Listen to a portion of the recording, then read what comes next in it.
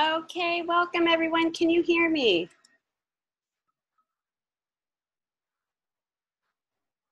Awesome. How was everybody's weekend? Did you guys have a nice weekend?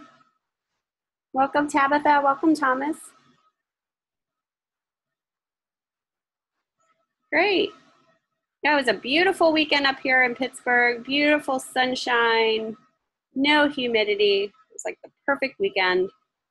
Spent it with my daughter. We went swimming, all kinds of fun stuff. So hopefully you guys rested up, got some work done over the weekend, and are ready to get into week three here. Welcome to week three, live lecture one.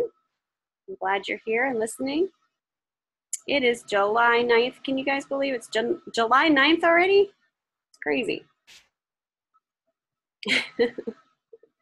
it just goes so fast, especially when you're students. I know when I was a student, it went really, really fast. So enjoy this time being a student.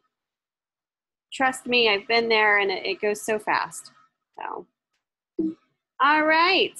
Does anybody have any questions from last week before we get started here?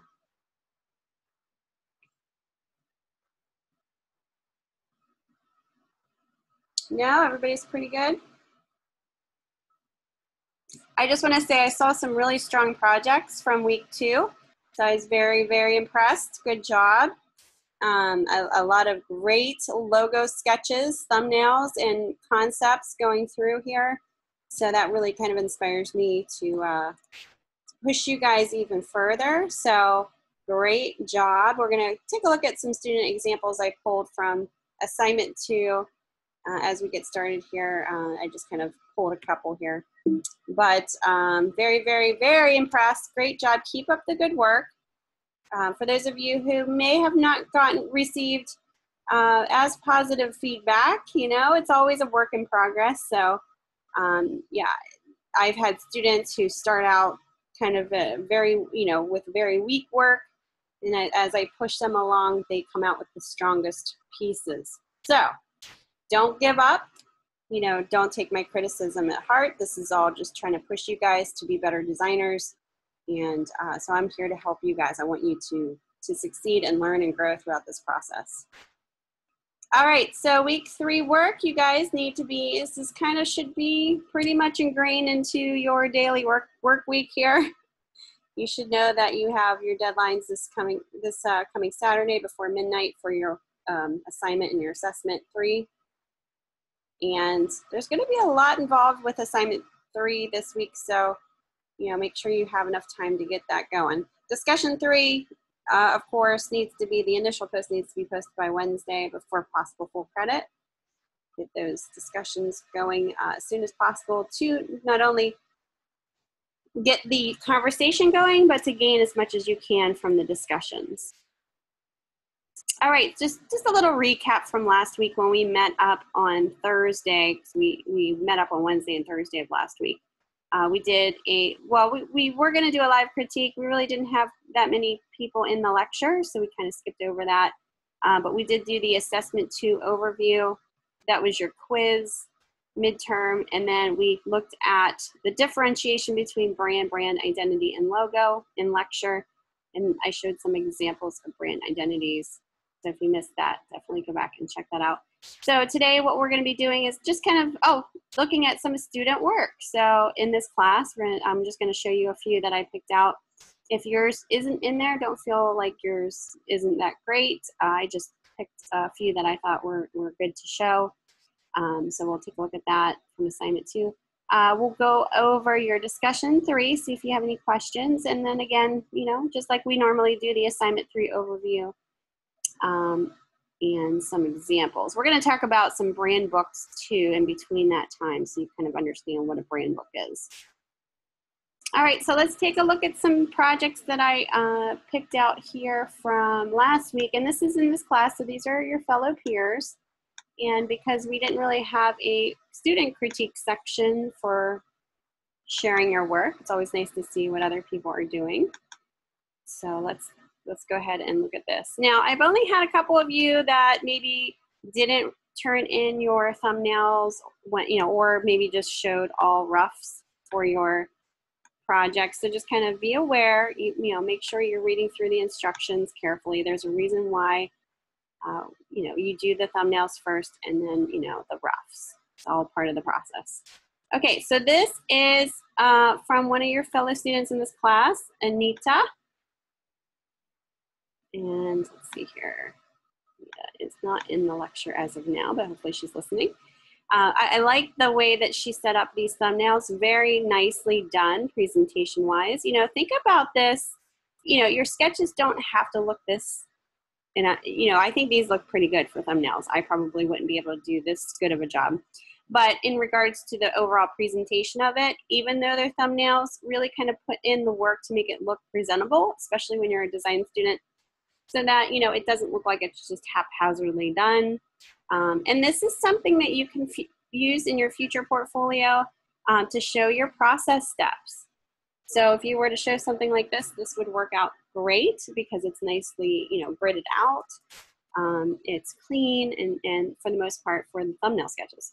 Now she's she kind of started this out on the very top. I don't know if you see that. It's all the keywords that were used in your descriptions.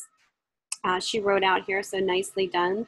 And then as she went into her thumbnails, she's really kind of exploring many different concept options here. Uh, different icons, different um, hierarchy of text, you know, different concepts of, uh, you know, orientation. Um, so they don't all look alike, which is great to see. This is really kind of the experimental part of this. So if I were to see the logo look the same, but just, you know, a few changes in each, then I'd be like, hmm, maybe you should explore some other options. This is where you know you get the brainstorming going. You kind of start thinking about, okay, how can I make this look unique? You know, what do I want to do? So she did a great job with coming up with some really unique concepts. And then she went into, let me zoom this in here. She did a great job with coming up with some really interesting and unique, but appropriate and simple options for her logo mark. Um, so I think this is nice, a nice balance between, um, you know, you got that organic feel of the typeface. It's casual looking. It doesn't look too, you know, I want to say stuck up, but it doesn't look too affluent. Like it's, it's going to be too expensive, which was the key to this. It, needs to look kind of affordable and homemade, and this has a nice homemade feel with the bakery uh, typeface as well as look at the dots around the oval. You know, they're not perfectly spaced and they're not aligned. So that to me, I, that that actually works really well with this because if this these were all aligned and spaced out, of course that would look good. But I like the fact that they're not. It's not perfect. So it has that handmade feel to it. So nicely done. And then she just kind of uh, rotated the sweet sensations just slightly enough so it's not um, horizontal just gives it a little bit of a dimension to it. Second option, very close to the first, which is fine. Uh, the only difference is she kind of um, made the dots a little thicker, bigger, and uh, obviously reversed it out and then placed a little tag uh, flag behind the bakery um, word here. So I have a nice option. The third one is definitely different than the first two kind of playing around with the icon and uh, tagline. So using the same typeface, just kind of pushing a little bit in a different direction. So great job, Anita. I really think that this, uh, you know, definitely shows that you're putting that, put, putting that process into place. Um, in, in, you know, I think you came up with some effective solutions here. Uh, of course, you know, I gave all of the examples that you're going to see today. I'm giving um, even extra feedback too. So there, you know, it's a work in progress, and um, so it's not perfect yet. All right, this next one is Danielle's, and again, she's a student in your class, and this is a nice way of showing the thumbnails as well, just in a different way than Anita, but you know, nicely uh, organized. Numbered so we could talk about it if we need to you know say if i didn't think that her roughs were strong enough maybe there was a stronger one in her thumbnails. I could say listen i think that number 19 is stronger and you know so i could point that out. Um, but nicely done sketches here. And then she goes into pulling out her strongest concepts and i think she did a great job with playing around with the icons and uh, the typefaces within here. Now there's definitely some things that she could push forward, but I think she did a great job with coming up with some three really interesting and unique uh, concepts. And I have one more example here that I pulled just very quickly. One second here.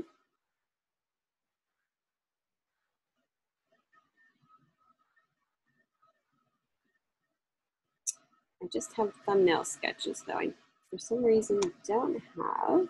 Did I accidentally trash them? Hmm. Alicia, let me go grab hers real quick, guys. I think I accidentally trashed hers. Uh, her thumb or roughs. I have her thumbnails, but I don't have her roughs. So give me one second. I'll grab hers. It's nice to see them both together at least. Alicia.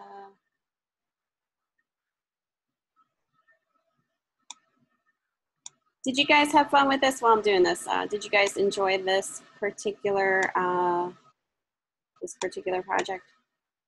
Maybe it was challenging to you. Maybe the thumbnail process really did help you through.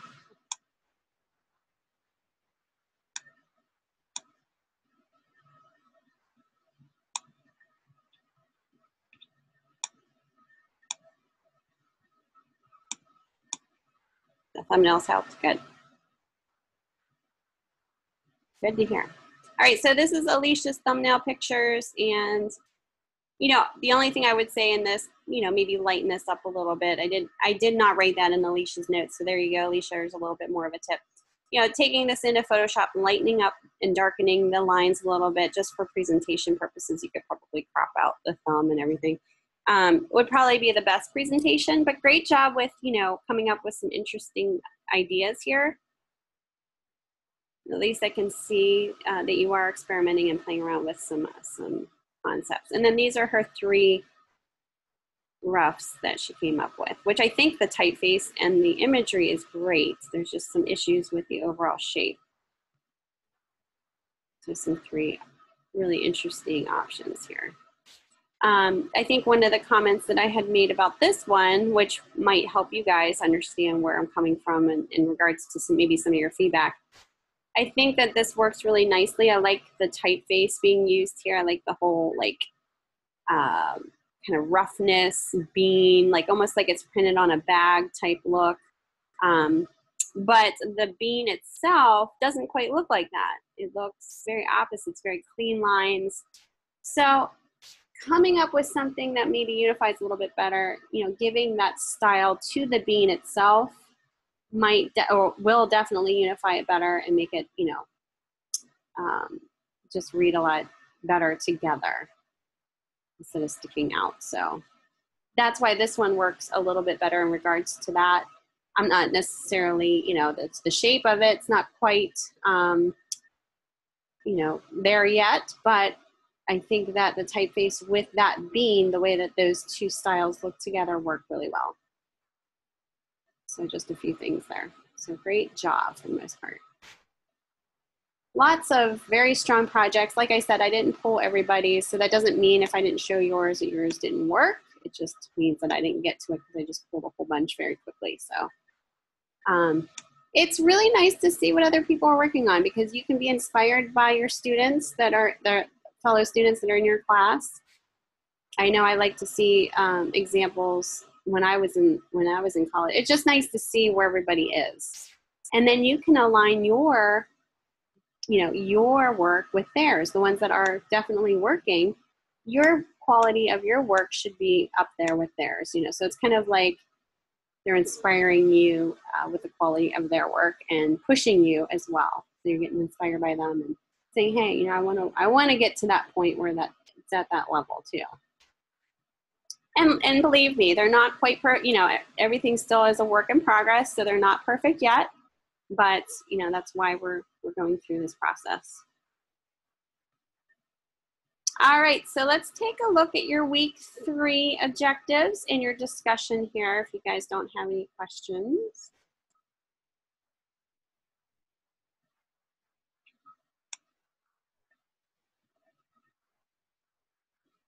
All right, so week three, um, learning objectives. Let me zoom in here so you can see a little bit better. This is what you'll be walking away from week three. Define three ways in which consumers attach emotion to brands and how it impacts company performance. You know, when they're talking about emotions to brands, you know, you think about things that you want. Uh, you know, if you're seeing somebody with a particular brand of car and you want to that you want to fit into that whole, you know, that I guess that whole uh, lifestyle whatever that brand is is attached to. You know, that's emotional. That's the emotional part. Identify a specific set of compatible font families that reflect the individuality of a brand. So font families are great because they give you a lot of different styles within that family to use and uh, ones that are appropriate to the brand you know, is makes that brand even stronger. Type, typography can be the key to an effective logo mark. You know, it's definitely very, very important. Number three, define imagery that projects the personality of a brand and strengthens the personal and emotional relationship a brand shares with its intended audience. So it's almost like a mood board, you know, you kind of getting that mood set. Number four, create a brand guide that establishes a company's voice, look, and identity. We'll be looking at that in a second here. Number five, analyze client feedback and adjust content to the brand strategy goals. You know, we're always kind of doing that. I'm giving you guys feedback and you guys are adjusting your logo marks. So you guys will be doing that as you push forward here with your brand book. Number six, discuss how uh, color influences end user behavior towards a company's brand. Color is huge. It's a huge design element. It's one of the design elements that you don't even need to have any words to go with. It just is what it is. You know, color has its own connotations, its own meaning. So that's pretty powerful. Um, and it can go either way. You can use it appropriately, you can use it inappropriately.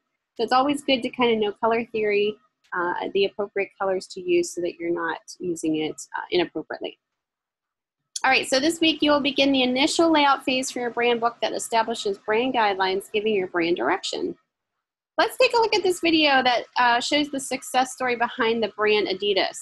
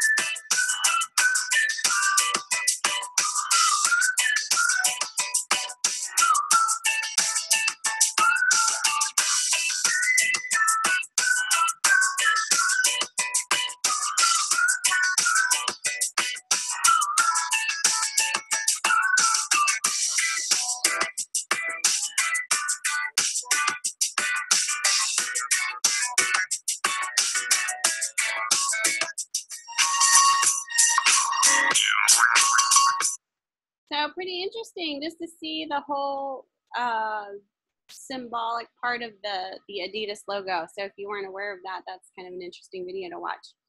Uh, shows you kind of like the brief history of Adidas as well. So it's definitely uh, a brand that is ingrained in our culture today in the sports um, industry. And, you know, it works and it's effective. So it's always nice to kind of get inspired by what works and what's effective. Pretty cool, pretty cool. All right, let's take a look at your discussion and let me know if you have any questions as we're going through this. So we're gonna be talking about brands and emotions. You know, look at this guy here hugging the car. Isn't that funny? You know, we probably have all been there at one point. Maybe it's a pair of pants, a brand pair of pants that you bought, or a dress, or shoes for, you know, whatever. Uh, cars, those, you know, brands that pull our emotions. go ahead and read through that background. And I'm going to go right to the prompt here. We'll, read this out loud. Let me get this a little bit bigger here. All right, so for this discussion, you will discuss ways in which consumers attach emotion to brands and explain how it impacts company performance. So for your initial post, you're going to choo choose two questions to research and answer from the list below. So choose two out of the four here. So read through them all. Number one, do consumers make purchase, purchase, purchases based on brand emotion and loyalty or logic? Why? Number two, what is it that encourages the customer to stick with a product and why? Number three, what is the role of customer service and brand loyalty? Why? And number four is social media necessary for brand recognition and loyalty? Why? So really, you know, I would definitely put your two cents in here and, and in your own words and experiences in here. I think this is what will really make your discussion interesting. You know, talk about the brands that you stay with, that you're loyal to, you know you could even think about you know when i was when i was reading these questions out loud what popped into my head was um, a brand that i use because my mom used it and I, I watched her use it throughout when i was a kid and that, that was a cream that she uses on her face she uses olay uh, cream on her face it just smells really good and it brings back all these memories of, of her um, and i use it to this day so i kind of grew up with that brand. You know, think about Campbell's soup, you know, as brands when you're a kid drinking Campbell's soup and, and maybe you, you still are eating it. Maybe you still eat that today because you have good memories about it. So it's not just about the brand and the logo, it's about experiences that you've had, maybe growing up, you know, good and or bad, um, that you that kind of makes you either you know buy into it or not. And and also not just about experience, uh, not just about logo and brand, but also experiences in regards to customer service. You know, maybe you chose a brand, didn't think that you were going to, you know, you thought you were going to get something done customer service wise, but they were amazing at customer service. And then that made you kind of be loyal to them because the customer service was so good. Um, so think about those things. Put your own words into this. I think when you put your own experiences and uh, your own thoughts in regards to what you do and what you buy and why, I think this will be, you know, definitely a more interesting topic uh, to talk about and discuss and read about what other people are, you know, experiencing as well. So don't forget, you know, you can use research for your citation. You might research articles that discuss why consumers choose to remain loyal to a particular brand. Uh, you can also find articles from experts who specialize in bu building brand loyalty. Challenge each other, and don't forget, you know, the two APA citations. Post has to be at least 200 plus words, all that good stuff. Any questions in regards to this discussion? I think this will be a fun one for sure. I mean, I have a, a few ideas of brands that I am loyal to and have experiences with that I could talk about as well. So I'm sure you probably can think of stuff too.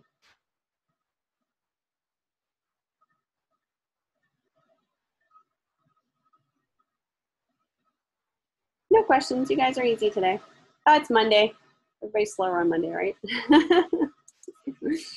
All right. Um, yeah, so that is your discussion for week three. Go ahead and get that started for this week.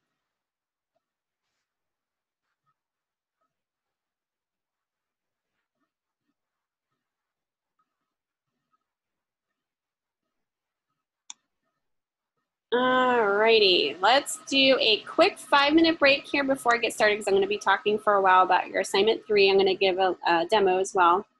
Um, so let's take a quick five minute break, get you guys kind of waking up here, uh, and then I'll be back to discuss kind of what's involved in, in this project. Sound good?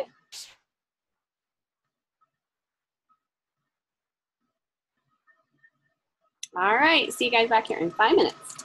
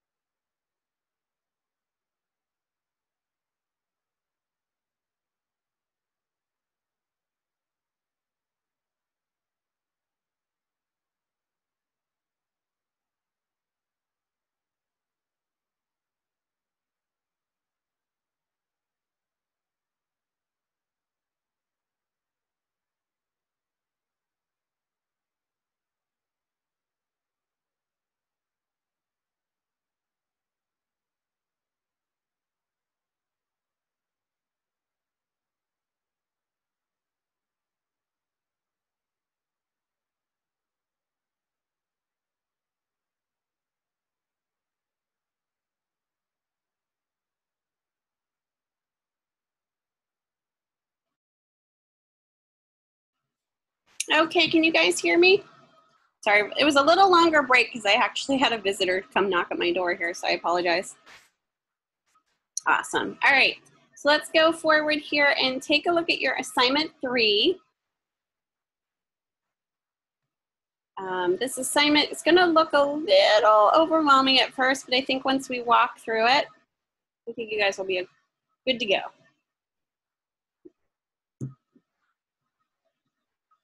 All right.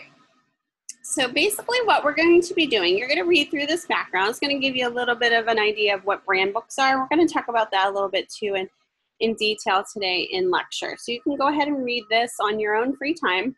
I'm going to go right to the prompt here. So for this assignment, you will begin the initial layout phase for your brand book.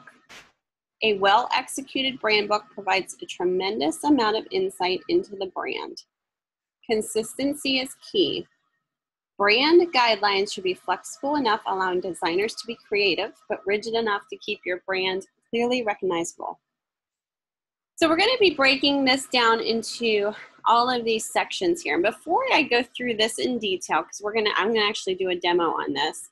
Let's go back to the slides and talk more about what a brand book is, because I think sometimes, you know, it's a little, un, you might not be real sure of what a brand book is, so let's talk about this. All right. So what is a brand book? It can also be known as, you might hear it be called brand manual, style book, style guide. It pretty much is the same thing, brand book. Uh, so we're going to talk about what it is, why we create a brand book, and we're going to show examples of some brand books before we get into the, the actual demo here.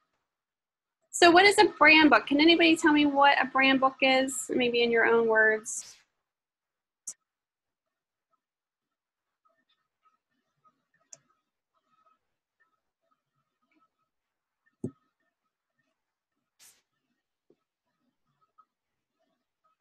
Yep, tell us how the brand is used. So it's like rules, right? It's the guidelines. Perfect. Great job. So a a brand book is a set of rules, regulations, and terms of how to use a corporate style. And why do you think we use it? To keep everything consistent, right? What happens if we have a logo and it looks great across all these advertisements and then one day it's it, the logo is given to some other designer and they they accidentally use it in, in a wrong way. They're showing it inappropriately. What happens? What do you think? You know, let's say if it's skewed out of proportion or maybe they're showing it in a color it's not supposed to be.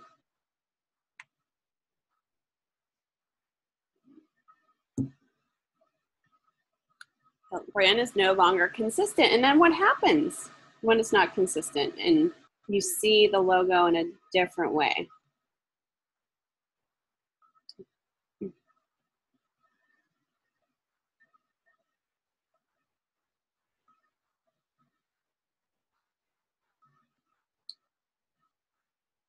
confuses the target audience. Yeah, it becomes unrecognizable. It just it's a disconnect. It, it almost like degrades the brand in a way, brand recognition. So you spend all that money, you know, clients will spend all that money on a beautiful logo, it might be effective, it, it's amazing logo. And then once it gets passed on to other designers or other people who are accessing it to apply it to other means and purposes, uh, you know, other applications, and it's not done correctly, it's actually degrading the brand because it's, it, you know, if, if it's not done consistently, it takes away from the brand recognition. So what is a brand book? Uh, development of a corporate style is also included. So you'll see in a brand book a logo. You'll see the appropriate original logo that's supposed to be used, maybe inappropriate uses as well. You'll see corporate colors in there that you're supposed to use, fonts, maybe forms, corporate price lists, business cards, stationery, there's a whole plethora of different things depending upon the brand that you're working on that might be included in the actual brand book. So one of the things that is most important is, you know, looking at the logo and its appropriate use, how it's supposed to be shown. You could have size requirements. I mean, you could have it down as detailed as Walmart does here. And this is Walmart's logo and how it should look in a particular title, maybe um, maybe on top of a, you know stationery or you know a receipt of some sort and they're showing you an x height and an actual specific spaced x height that um, should be put into effect if you have you know this type of uh, um, usage in terms of the site service and title being listed here. Here's another example of a university logo that's showing you the proper way to use the logo and an improper way to use the logo. So that there's no confusion whatsoever. If somebody is applying this logo that's that's you know maybe they're applying it to a website or uh, stationery, you know they they know clearly how not to apply it and how it's supposed to be used if it's a vertical use or a horizontal. Here's another example of Firefox. Here's a Firefox logo, current use. You can see the little smiley face that's green. That's the one to use. All the other ones are not good uses of it. Maybe they're older. Maybe it's uh, inappropriate ways to flip it. So they're showing you those. That's another example of that. So, you know, every brand's different in what they're going to show in their misuse and usage page. Here's Skype. They actually break it down to the cloud shape. So it gets pretty specific. And notice how each of these pages, when I flip through these, look different in regards to their presentation. It all very is consistent with the brand itself. Okay, so keep that in mind too. So why create a brand book? We just talked about some of the reasons. Let's go into a little bit more detail here. You'll have an easy guide to refer to when handing over the project. So this is something if a client asks you and you, you have the opportunity, say you're designing a logo for a client and that's all they hired you to do. Either you're designing a new one or rebranding one.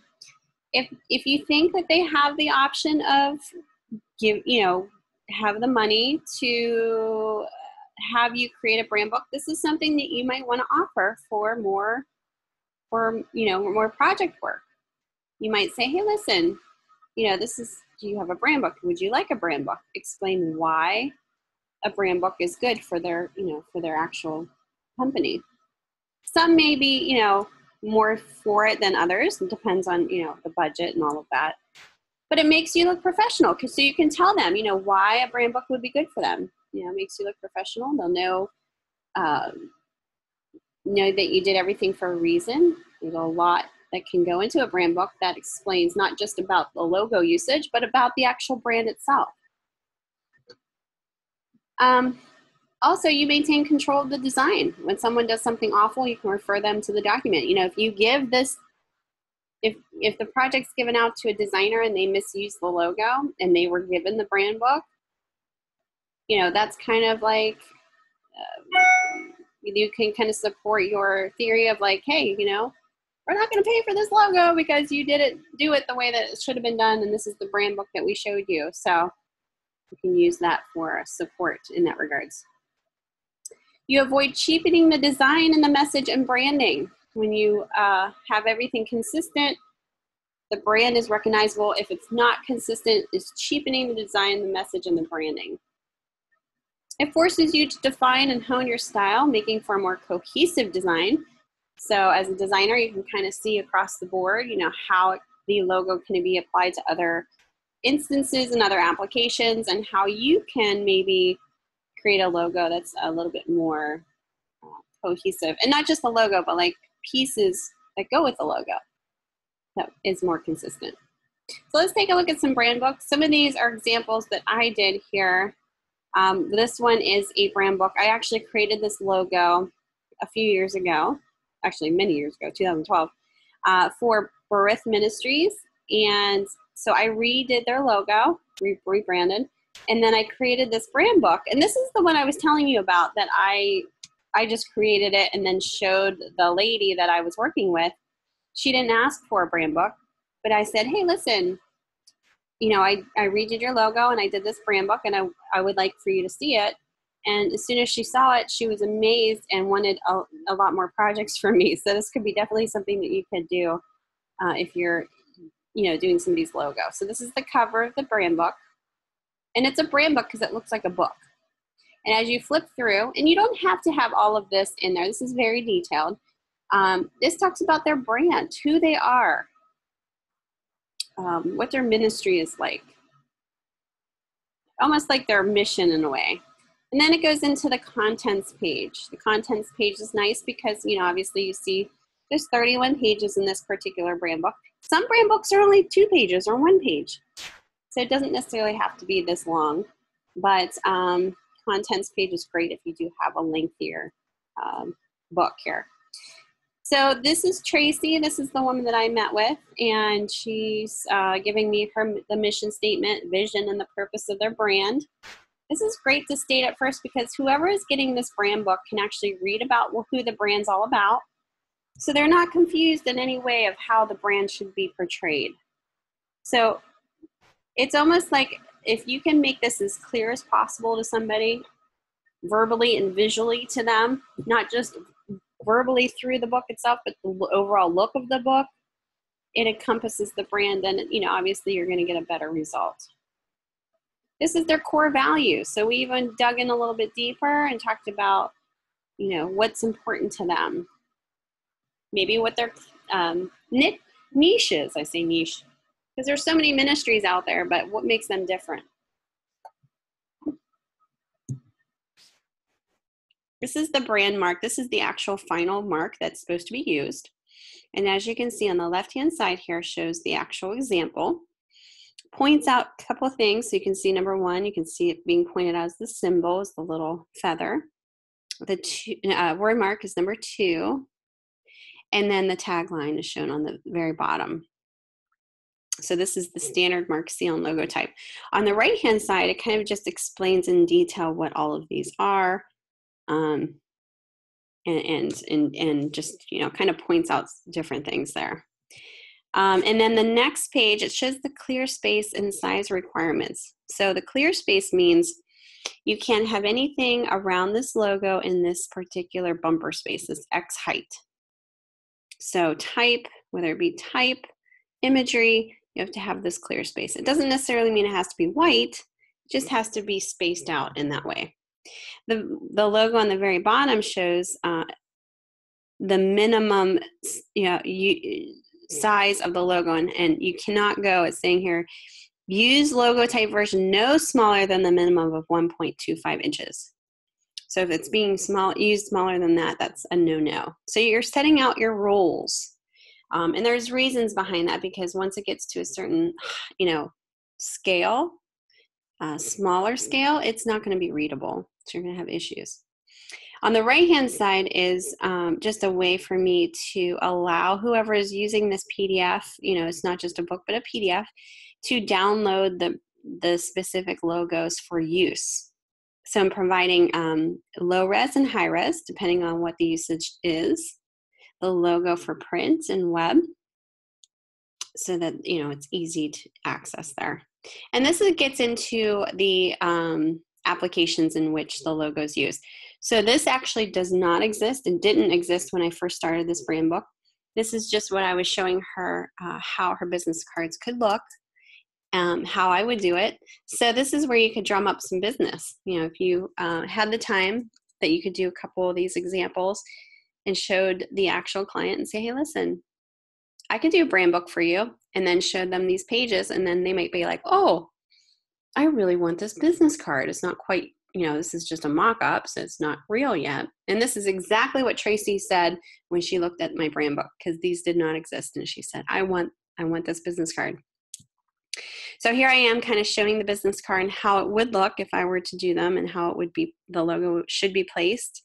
I mean, even down to the specific size of the card, the die cut of the card, excuse me, the die cut of the card, which are the rounded corners, the paper weight, the type of paper, the ink being used, resolution, file format, sides, typeface. I mean, very, very specific.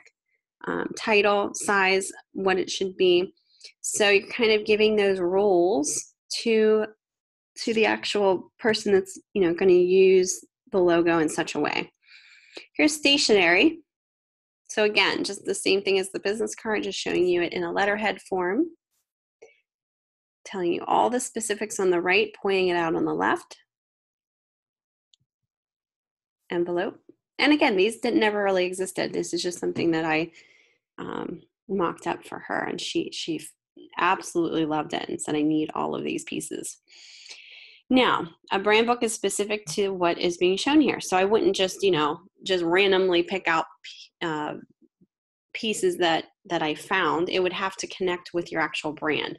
So because this is a ministry, you know, obviously they're going to have some type of marketing kit that they want to pass out. And this is one I thought was really nice um, that could be used where they could pass it out to people who are interested in becoming part of the ministry. It's called a mini marketing kit. It's, it's kind of like a little envelope, and they can slide in, you know, little single flyers in there. Um, and it's embossed on the front with a logo. And that has their business card in there all ready to go. So obviously, this might not be appropriate for other brands, but this definitely is something interesting for this particular brand. Here's a little kit here. The next thing um, to show is print and web advertisements. How would this look? What kind? What would it? What would their ads look like? Um, maybe not adhere to this specifically, but you know, you're showing an overall mood and an overall look, simplicity about this particular ad, um, and this is kind of what would be. Um, this would be inspired by different sizes here, depending on web and print. All right, um, standard communication through social media banners. So, you know, social media is a big part of us today, uh, not just, you know, just people in general, but also designers. We can utilize this, uh, you know, showing the brand in, in this way as well. So, Facebook, how it would look like in the Facebook world here, and also Twitter. You know, they have Instagram and all that good stuff. Promotional materials you know if you have a brand that you know promotional materials like t-shirts are appropriate you can show the brand on that what it would look like maybe different um, different uh, different applications you know that would be um, appropriate for that brand this this is kind of like little pieces here that would be offered, like coffee cups, umbrellas, um, different pieces like this with the logo on it. Here are door hangers. You know, this is something that would be great for a smaller ministry that could go around and just place on some door, door hangers in, in neighborhoods that are local. Um, and then uh, just a contact page at the end, which is great to have for a brand book. Because when you're giving this book over, say, to another designer, if they have questions about what's in the brand book, if they're not quite sure what's clear in there, what to do, they can call or contact the designer who actually created the brand book and or the actual person that is connected to that uh, company. So I have both contact information there. So that's just an example of a brand book that I did. Um, student examples. Actually, you know what? I don't have. Let me see if I have any student examples here. I thought I had them in the slides, but I guess I have to pull them. So give me one minute here. So, you know, this, the one that I just showed you is very extensive. You guys aren't going to be doing that extensive um, in terms of that. Let me see. I actually have a, okay trying to see if I have, I do, some examples here. Okay, so this is an example of brand books that students did that I, this class has changed since I last taught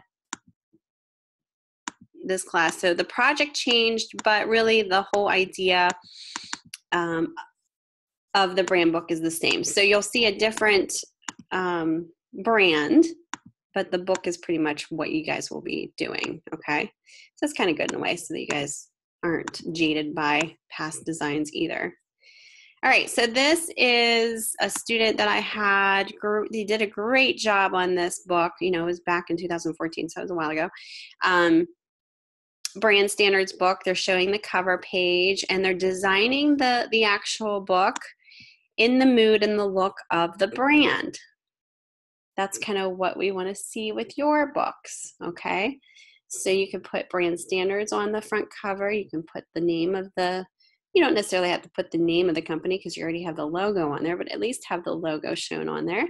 You can have the date, not necessarily the month, but maybe the date. And that way, you know, if your current, you know, obviously if I were looking at this, I'd, I'd ask the people, the actual company, if they have a uh, more updated brand manual. If not, this would be the go to. But this is a great cover. That is a good example of what you should do. Um, table of contents. So this person did table content. Notice how the imagery goes along with the look and the feel and the mood of the actual brand. So they're laying this out uh, as such. Has a nice little footer down below there. States that this is section one, table of contents. The next page is page two, and this is the introduction. This is just about who the company of the brand is. You can copy and paste what was given to you guys in that breakdown um, and kind of tailor it around your introduction if you'd like. Here's the logo usage page. Um, so not only are they visually showing you what you need to do and what not to do, but also explaining it verbally. So I think that is the clearest possible way that you can do it. If you were only to show visuals, you might get confused of what that visual is showing. So that's why having a verbal statement to it makes it as clear as possible. So on the left side there, you'll see number one is showing you like how, you know, don't go below this, uh, this size here. This is the smallest you can have it. Number two is showing you the clear space around it. Number three is showing you what not to do. Number four is showing you when their screen printing involves um, kind of what the options can be. Section two, typography. This is what is what typography was used in the logo itself. So they're being very specific because there's two different ones here for mm. Thrive and Coffee. And then it's mm. telling you the primary typeface that cannot be changed or modified is, and they're telling you both typefaces. Both of these typefaces have been carefully picked to best represent the company. Replacing these fonts with alternatives should not be done. So it's telling you, you know, you need to stick with this. You need to keep it consistent. It's also going down below, it's telling you what the headers and body copy should be if, if used you know, for collateral pieces so we can keep it all consistent. Color scheme. You know, every single color in your logo needs to be pointed out in PMS, CMYK, RGB, and hex number. I think for yours it just might be PMS, CMYK, and RGB. These are the what makes up that color. Um, this is because you know you might want to use the logo, uh, in print, and you'll need to know those numbers for CMYK. If you use it for the web, you'll use RGB. And if it has a Pantone color possibility of usage, which is a premixed ink, that's the, the, um, the numbers there for the Pantone swatches for each one of those. Color scheme. Okay, it says the following complementary colors are suggested to be used in addition to the Thrive Coffee Company logo and promotional and office projects. RGB or uh, red, green, blue, orange. So those are the colors that they would like for you to use if used in promotional or office projects. Here is the logo on different promotional items. This is always fun to do. You can find some really cool PSD mock-up templates to put your logo on, and this is what this particular student is doing that are free. It just makes for a nice presentation. And then at the very end is the contact information, the design company, so you can put your, your company name or just a fake name if you want, your actual designer name, your phone number, email, web address, any other social media contact information. So that's an example of what an, a student has done that I think is very successful. Let me see if I can find another one just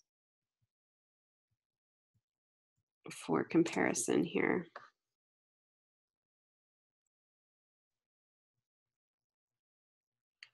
Okay, here's just a simple one.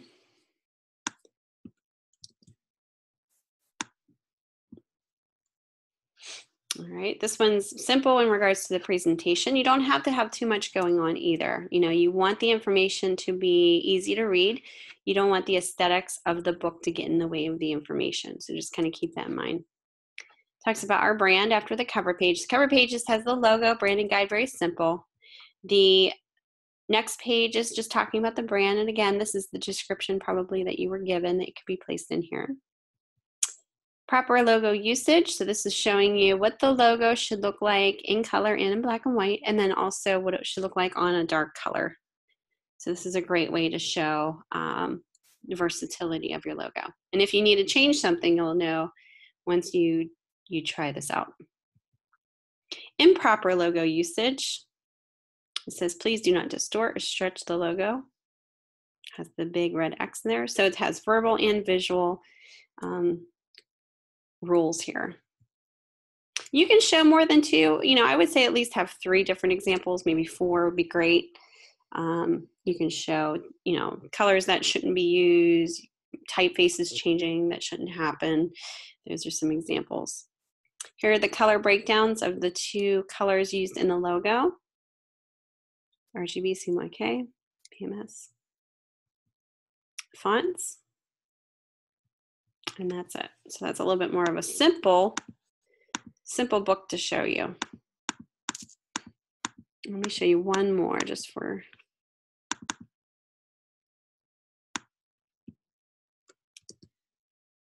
different look about this. Okay, so this is um, another student did Thrive Coffee. This is the cover. Table of contents, very simple. And each of these are totally different in how they look. Overview brand logo. This is how the primary logo should look like, and the explaining on the right.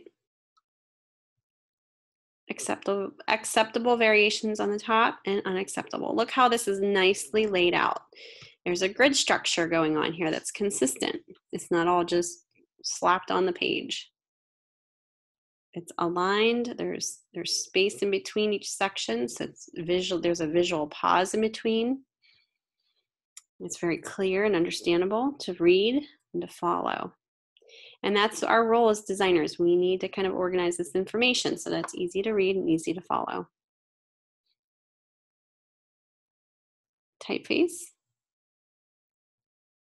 Applications, so signage, uh, other promotional materials,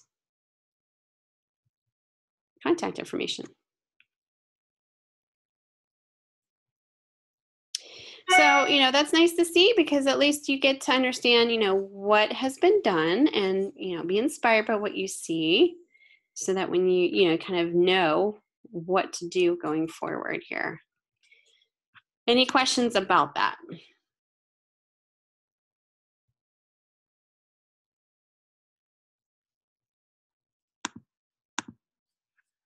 Okay, so you can see the simplicity of those compared to the one that I did. That's why I wanted to show that to you. Because um, I don't want to freak you guys out with like, oh, I have to do all of that. so I wanted to show you some student examples. Okay. And again, the, the student examples that I showed you are different um, in regards to the overall um,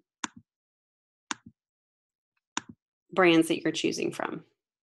Okay, so I'm going to go back to your assignment details here and we'll kind of go through this. Let me get my chat area up here. Okay. So basically what you're going to be doing is using an InDesign, uh, using InDesign to create a new document. You're going to do a 12 page or a 16 page um, book here, eight and a half by 11. And what it should include is the cover. We, should, we saw some covers today in the examples, table of contents. You want to make sure that the essential information is easy to find. Brand introduction. So I showed you some table of contents examples. Brand introduction, introduce your brand to the world.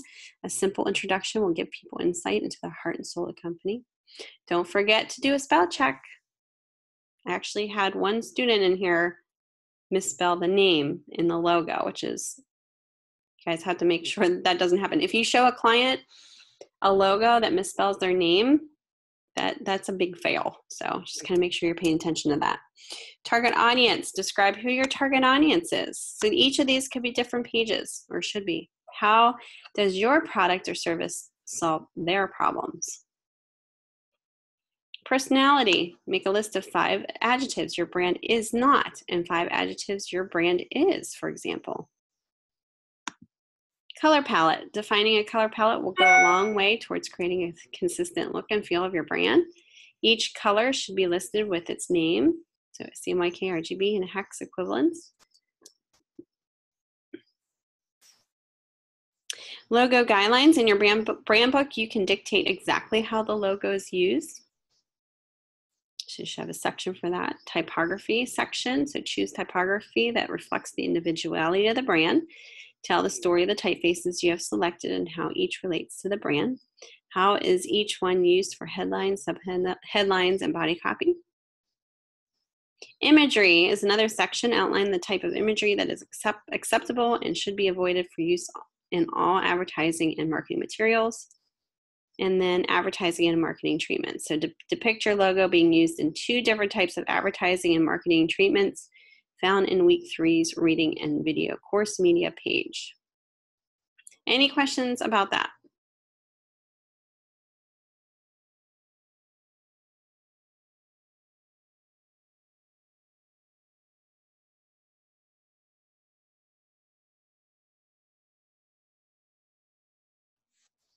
Um, Pantone color is not stated in there, is it?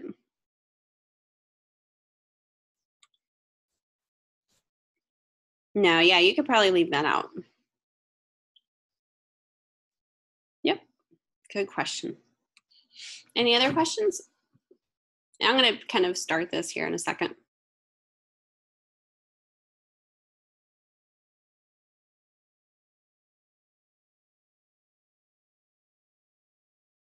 Okay.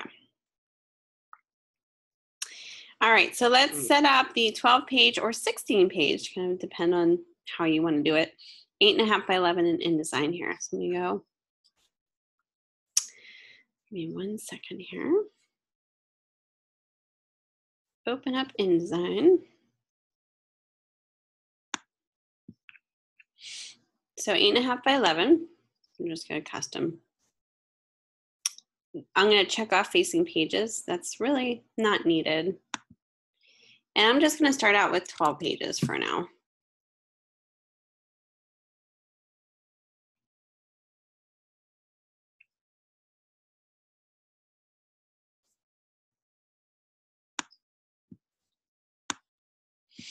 All right, so it kind of looks like this. Wait, 12 pages here. All right.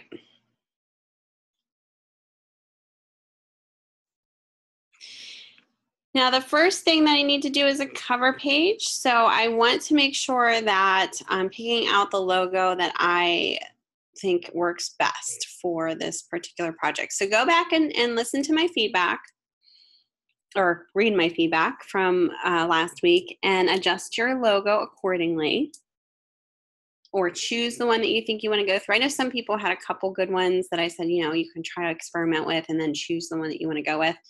Either way, you're going to have to choose a concept. So I'm going to go back to Illustrator Remember the examples I showed you last week in my demo? I, I did these three, these three options here very quickly.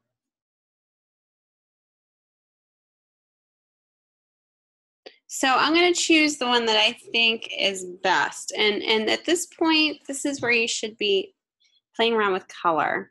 So go back to the logo that you want to do and then choose the colors that you think is appropriate for this. Um, so you might, you know, want to see, swatch libraries. Um, I'm just going to go to sweets here for my color options. And, oops, what are you doing? choose something that I think is appropriate for for my brand here. This purple's kind of nice.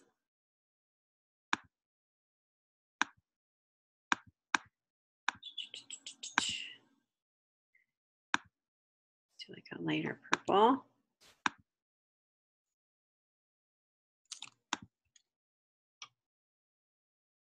Okay, so I have two different purples here. At this point, I would definitely, once you have uh, your colors set, double click in Illustrator into your fill once you select that. And then take a screenshot of this information. This is breaking it down in RGB numbers. This is what RGB is. So 86 for red, 82 for green, 163 for B. That's what makes up this color here. CMYK, same thing, shown right here for this particular color. Hex number is right here. That's your, your, your web number. Okay, so I would take a screenshot. So Command Shift 4, I can take a screenshot of this purple color. And then go and choose your other color, do the same thing. That way, when you're ready to do the color page, you have all of this information to go off of.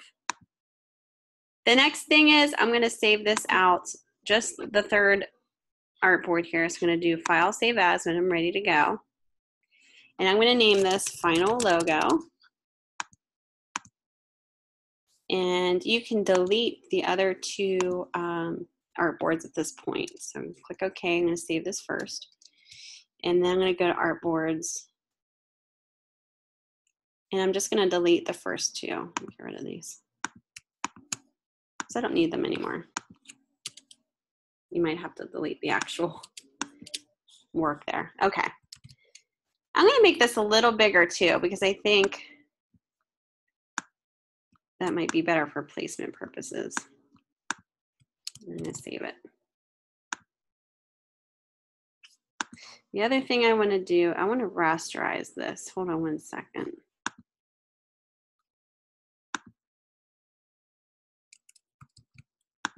a second. Let me do it here. Hold on.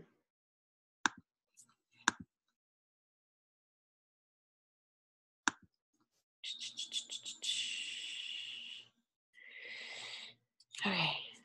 Uh, I'll just leave it as is. Just save it. Okay. The next thing I want to do is export as a ping file.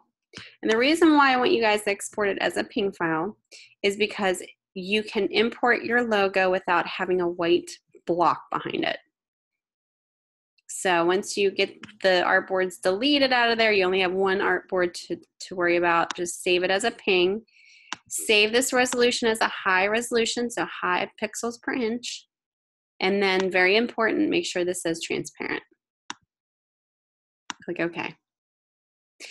All right, once you're done, you're ready to go into InDesign and start your book, book uh, pages here. So it's really up to you on how you want to do the cover. Actually, you know, before I even do this, let me go back to my Illustrator. I'm going to show you one more thing. I'm going to save this as final logo white because I'm going to do a white variation of this. So if I were to do a darker background, actually this might not be too bad on a darker background either. But just an example, like say if I had, you know, say if it was just the name here. So let me delete this and I'll show you in a second. Where's my colors?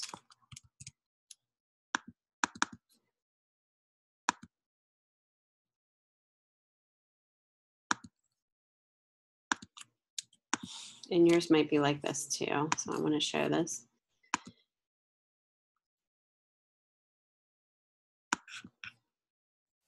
Where's my colors here? Because I didn't save it into my my color block here. Hold on. Okay. Say it was like this, but I wanted to put it on a dark background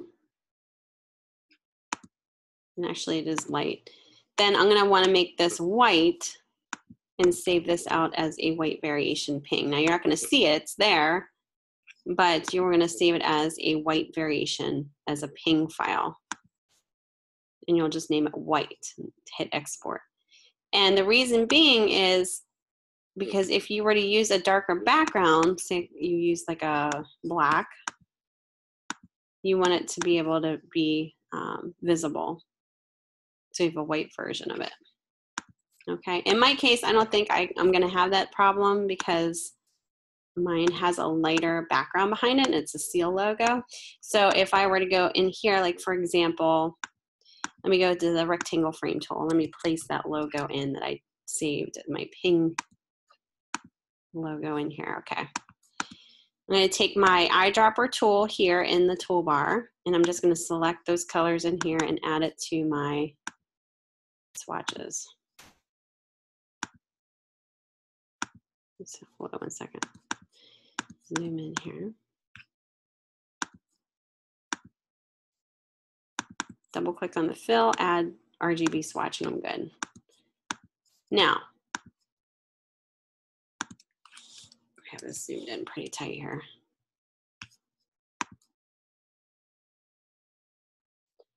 Um, give me one second. Actual size.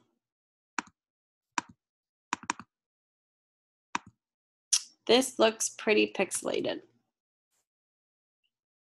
And I'm not sure why. Give me one second here.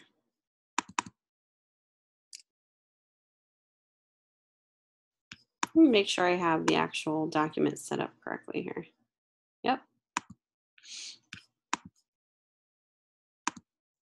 And I know you can't see what I'm doing, so just bear with me here. I'm trying to save this out as a high res image here. Click OK. All right, let's try this again. Oh, you know what? It's not linking. That's why. Okay.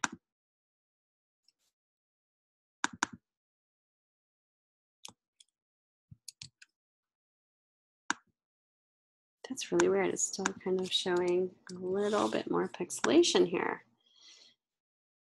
Let me save this and close back out. three. Something must weird must be going on here.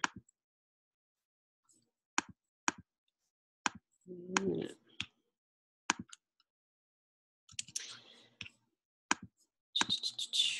know why this is looking pixelated.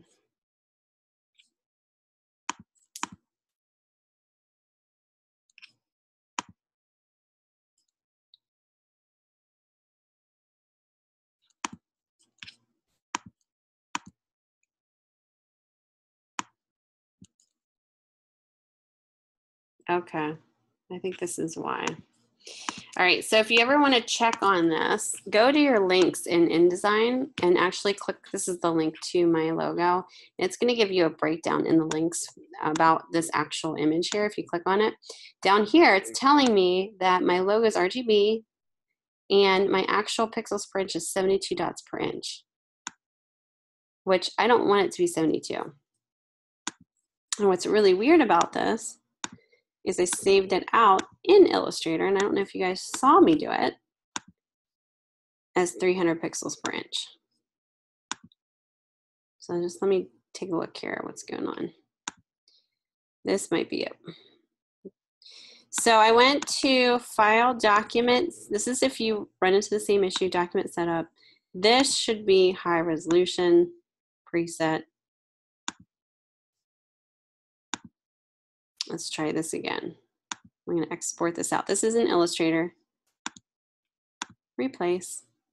I'm going to change this to 300.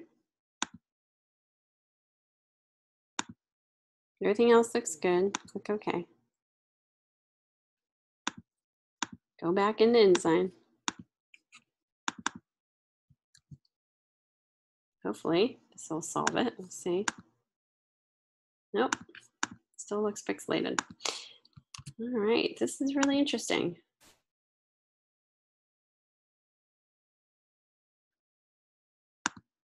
I've never had this issue before. I'm not quite sure what's going on here. Let me see if maybe my document in here is not set up right.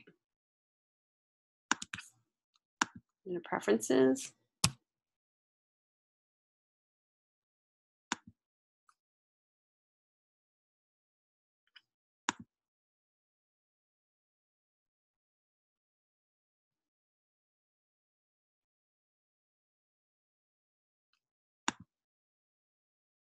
Everything else looks good. Really, really weird. Okay, let's go back and check to see if it still says 72. Yep, 72. So something is going on with my Illustrator file. Let me let me try to copy this. I'm going to do another completely new document in Illustrator here. Just give me one second.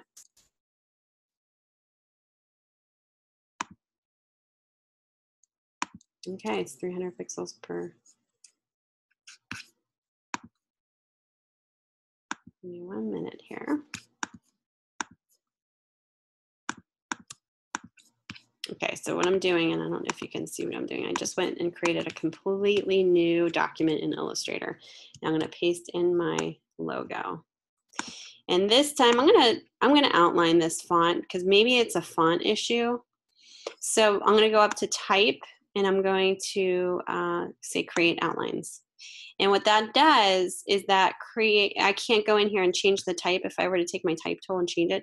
It goes from it being a typeface to a shape. But what's nice about that is, you know, you won't have any problems with it like I might be having um, with exporting this out. So I'm going to go export out again. Final logo new. I'm going to name this ping. Everything else is the same. 300 pixels per inch, transparent. Click OK. And let's see if I have any issues now. It might have been a, a font issue here.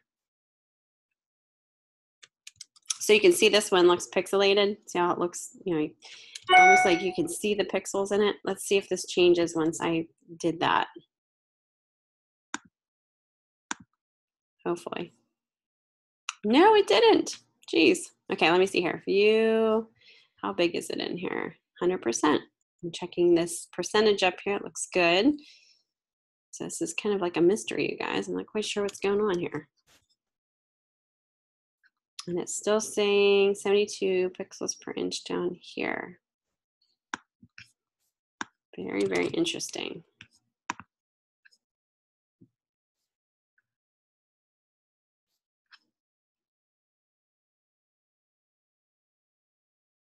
And everything else is high. So yeah, there's something going on and I'm not quite sure. I thought that would fix it. Uh, but there is something going on here that I need to figure out. So let me dig a little deeper in the meantime. I don't want to take up too much time with this, but you're, you should be good with yours. It shouldn't happen like this. Um, but again, I have to figure out why this isn't saving out as pic, uh, 300 pixels per inch when I'm telling it to.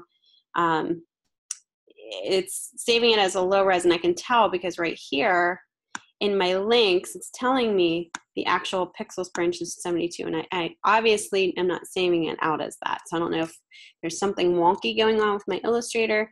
Um, just make sure you're, you're saving it out as 300 and you shouldn't have a problem with that. Sorry, guys, to figure out what the heck's going on with that. All right, so I'm going to center this. And the one thing I was going to show you is I'm going to take a, a rectangle here you don't necessarily have to use a white background. You can use a different color background. You know, just kind of have fun with it, see what you can do. Oops, sorry, send it back. Um, you know, kind of play around with it. You can even use black. You know, if that calls for it. Either way, get your logo on there somehow. Doesn't have to be really, really big brand guidelines. I'm going to name this. And I would set this in a typeface that you're going to be using. And I spelled that wrong. I couldn't see it. In your actual logo. So if you have a readable typeface, like for instance, it would be my my tagline, which is what font is that? Let me go back to my character palette here. Minion, I would change this to Minion, which is already changed into Minion.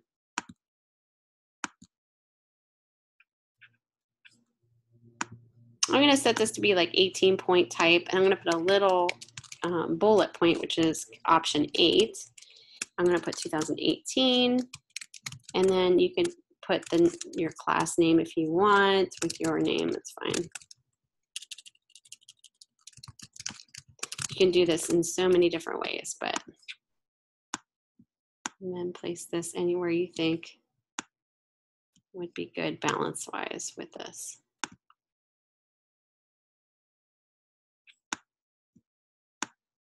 Just make sure everything's kind of aligned. Mine's centered here. So that's my cover page. Any questions about that?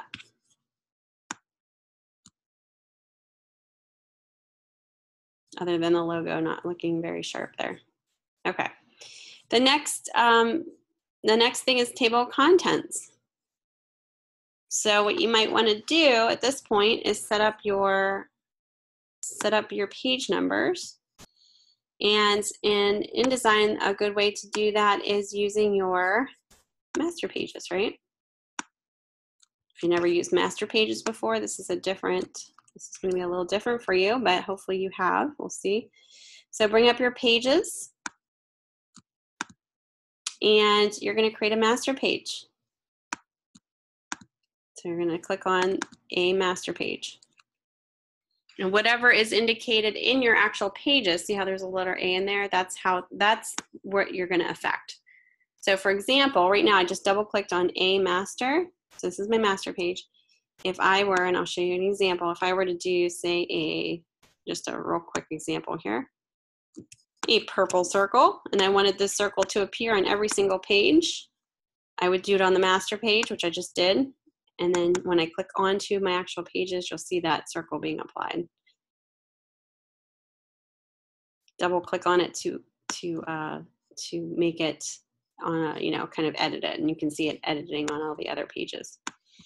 Okay, so page numbers are different because um, you have to utilize this in a different way. So what I'm gonna do is I'm gonna make this like a little circle down here. You can use yours differently. I'm going to center it. And if you put a page number in here, take the type tool. And I'm going to start with page two.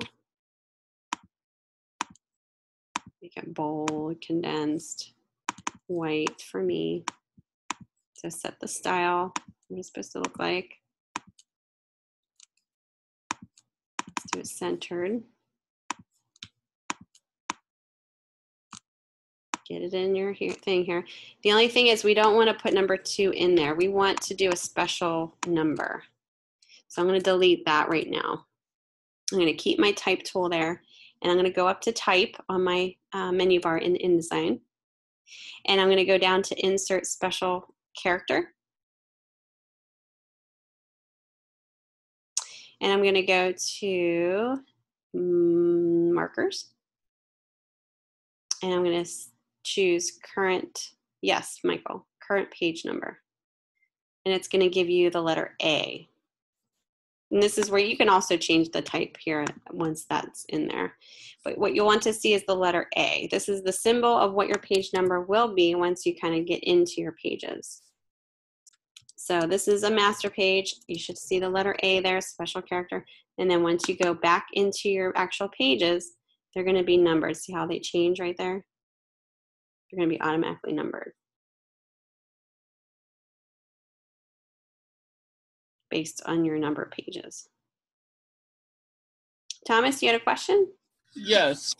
Um, I know I'm familiar with master pages. Are you wanting them in a single in a single form like that, or do you want them side by side? I think for this particular brand book, just have them vertically. You mean facing pages not turned on? Okay, so you don't want facing pages turned on. Yeah, so just if they, if they were turned on, this is what it would look like. Yeah, that's what I was referring to. You don't want it looking like that. I don't think so. I think it'll be easier if you keep it just vertical for this particular project. Okay. I mean, it, I wouldn't dock you points if you did it. I just think it, it's a little easier for this particular project to do like oh. per page. Okay. Yep, good question though, for sure. All right, so this will be the table contents page. So what you're gonna do is you're gonna basically, and you could do this in your master pages too, you're gonna set up um, something that's consistent on every page. So double click on your master page again and say there's an element that you want to keep consistent on every page. And just for this purpose, I'm going to do real quick here.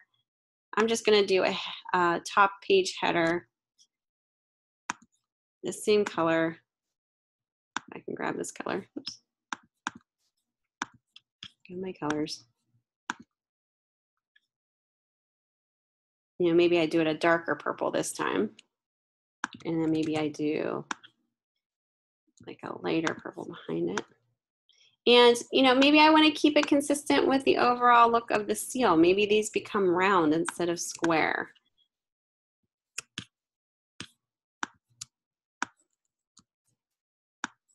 So start thinking about how you can unify that a little bit better.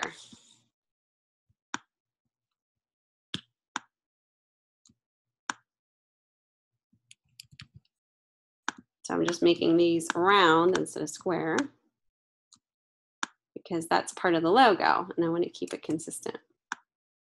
Just a little bit smaller here. Hold on.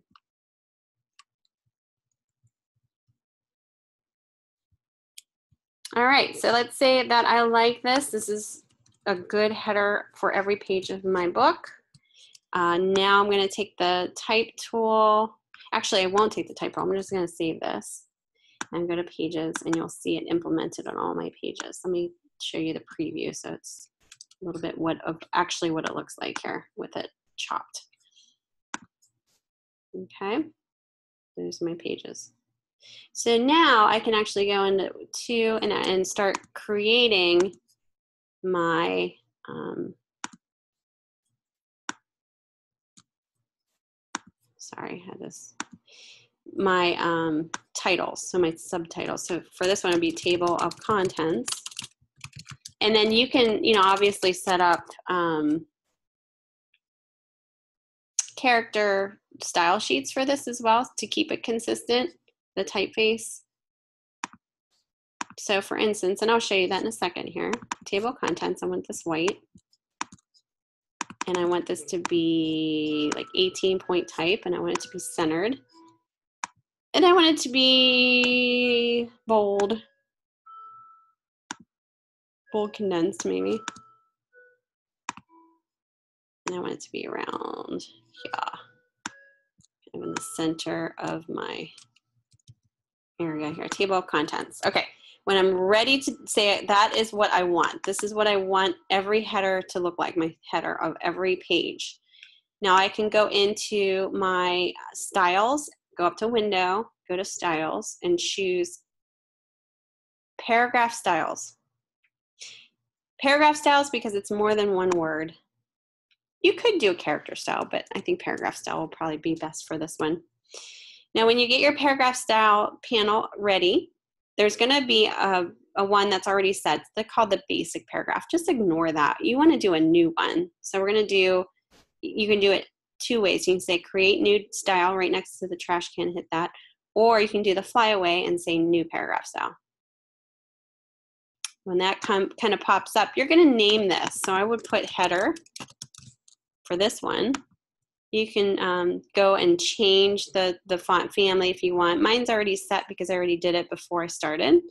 But this is where you would change that. You can change the color indent spacing, you know, if you wanted the alignment to be centered, this is where you would change it. Mine's centered now. Where's the color? Show you guys, character color. You know, you can change the color here, whatever you want to do. And then once you're done and everything's set, click OK. And then you're going to go back to the paragraph style box and choose header. And that's going to set it as a header um, paragraph style. So then any other page after this, you want to apply that same uh, look to it. So brand introduction would be the next title. So we're going to go to the next page. The only thing you have to worry about is where this actually lands. So brand introduction, I'm just going to type that. Select that word, those two words, go back to your style sheets and go to header and it's going to set it exactly how you have it up here. The only difference I see here is this is all caps. This isn't all caps. So we need to change that. double click on your header to, to edit your um, to edit your settings here. And all caps should be under, give me one second here. Did I pass it? Position.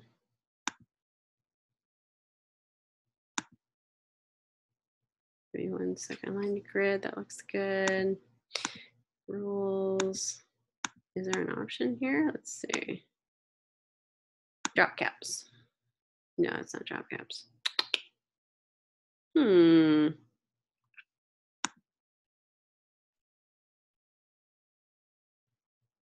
I don't know if there's an option for caps. I thought there was. If you guys see it, stop me here.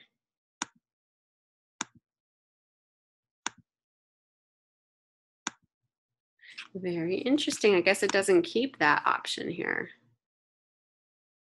Open type features.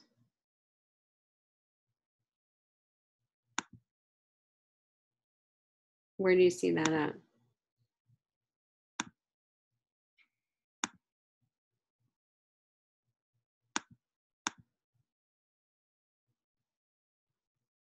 Oh.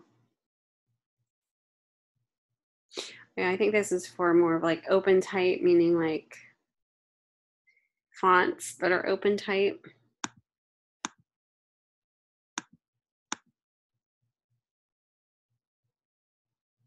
Okay, what I think maybe that would be is um, a character style actually. So maybe in this case, because it is all caps, I would do a character style instead of a paragraph style. So that is under the same thing. You would go under window, and let's see, I don't know, it might not be. And instead of choosing paragraph style, you would choose um, character style. Character style is basically if you were to just want to emphasize maybe a word or two, because it doesn't have as many options. Let's see if it actually has the uh, options for, for all caps.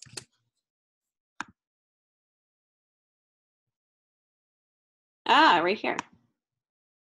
So it's under case, all caps. Let me see if paragraph style has the same thing and I just missed it. Yep, right here. So you don't have to do a character style. So all caps. I just missed it. I didn't, I didn't see that that word right there. So click OK. Now I don't necessarily have to do a character style now. All right, so that should have changed it right away right there. Yep. The only thing I would need to know is where this actually lands, you know, between the top and the bottom part. So how you would identify is that it select this type uh, box and I'm going to use my arrow keys, but take a look at the X and Y coordinates on the upper right hand, uh, upper left hand corner up here. So it says X and Y. It says 0.5 inches by 1.3211 inch. When I hit the down arrow, that number on the Y goes down or up. If I hit up, it goes, you know, and it gets smaller. You can't see it? Okay, hold on. Share my desktop. So when I select it, see the X and Y coordinates up here.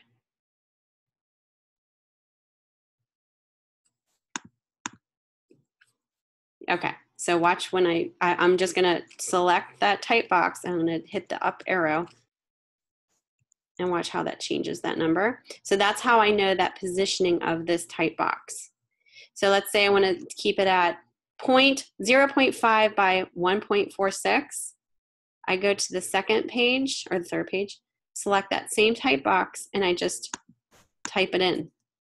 0.5 is fine. 1 point, what was it, 4 or 5? I can't remember. Let's see. 4, 6.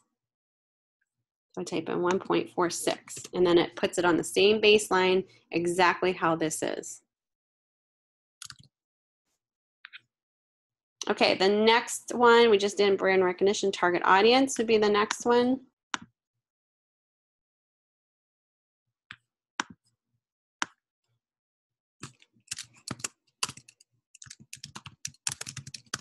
So now I go to my paragraph styles and on choose header, it should do it perfectly. And I just have to position it here. 0.5 by 1.46. Goes right into that position.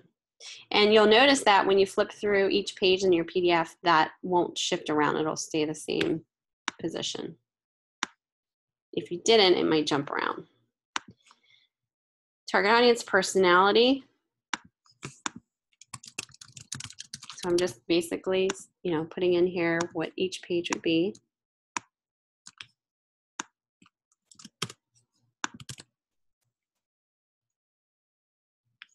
Lots of pages here. Color palette. I'm just going to copy this. Go back into here. Take the type tool. That kind of saves you time when you set up your paragraph style once you have it in there.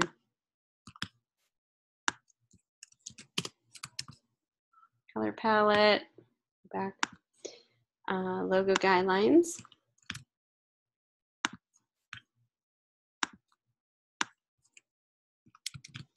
Copy paste.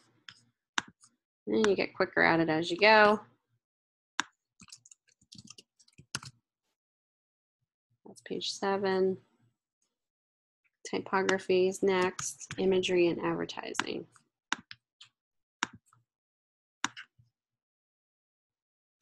Just paste these in.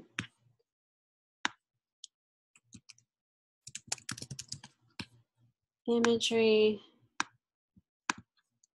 and advertising and marketing treatments. You can put a contact page oh, in the back if you want. It's completely up to you. I know there's a lot of pages in here, so you don't necessarily have to. I'm just going to go back and make sure I just implement this to be all the same consistent titling here. Oops. I just undid that, sorry. A lot of like monotonous work here, but kind of gets you in the swing of practicing in InDesign too. Can't that be sent in header style somewhere? Yeah, probably for sure. Header style. Mm -hmm.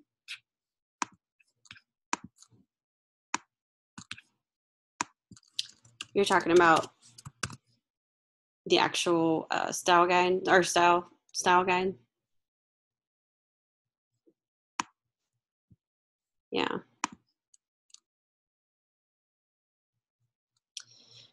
Yeah, so you could definitely do like one step there, but I just kind of was showing you for purposes of just getting that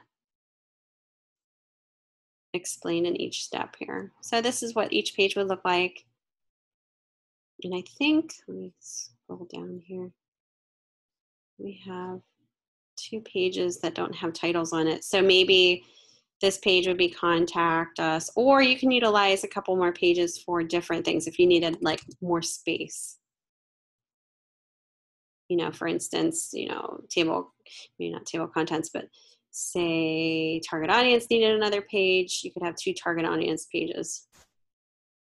Okay, at this point, and then just pick a grid structure, kind of what you're gonna do, how you're gonna follow along this grid structure on every page. So you know, you're following a grid. So for example, maybe not for the table contents, but we'll start say on the target audience. So maybe in this instance, what we'll do is we'll draw a guide down here about,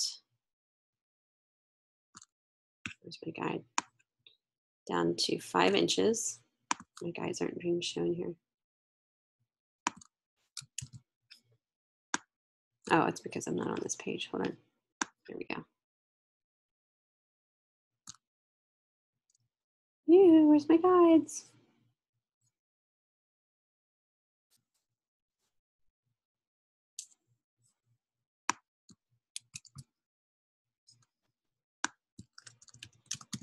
Oh, you're talking about the positioning of those. Okay, now I get what you're saying. I was a little, I was a little confused there. Okay, so I'm gonna pull down a guide at five inches and I'm gonna say, okay, this is gonna be implemented, this is gonna be, and you don't have to do a photo, but I'm gonna utilize this for a photo. So I'm gonna put like a photo up above here and I'm gonna send it to the back. And maybe the photo, I go to pixabay.com, has to do with the brand. So, you know, obviously we're talking about the bakery, right? So let's do bakery. And this is about typography, but you know, maybe we can choose some some good old bakery images here. Make you hungry.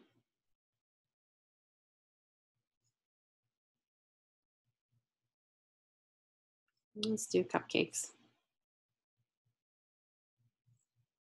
And like I said, you don't have to use, I'm going to do it. Um, you don't have to use photos. This is just something I decided to show you real quick here. Let's download this.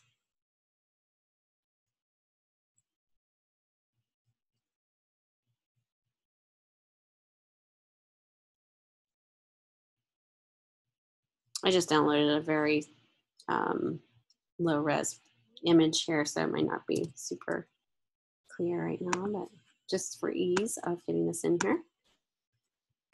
Check, send back. Okay, so now this is the issue with, okay, so this is another issue with um, styles. If you have your, your master page set up so that it has an element like this, it's always going to be on the kind of it's always going to be on the front. I don't think you can send this to the back. So with that being said, what you can do is you can do each master page different. Now this is a little bit more work because you're going to do each of these separately if you put a different photo in here. But just for ease of showing you very quickly, we go back down to five you would have to if you wanted to change out these photos to be different on every page is what I'm, I'm referring to you would have to do a separate style sheet for each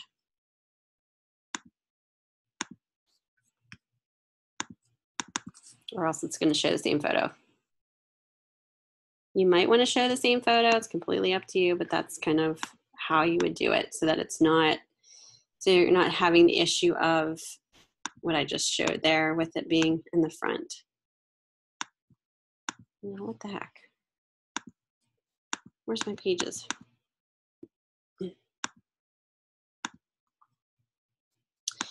Having some issues with some of my some of my things going on here. Hold on. Let me close out of here and then open back up. I think I'm doing too many things at one time here and it's getting screwed up. Really?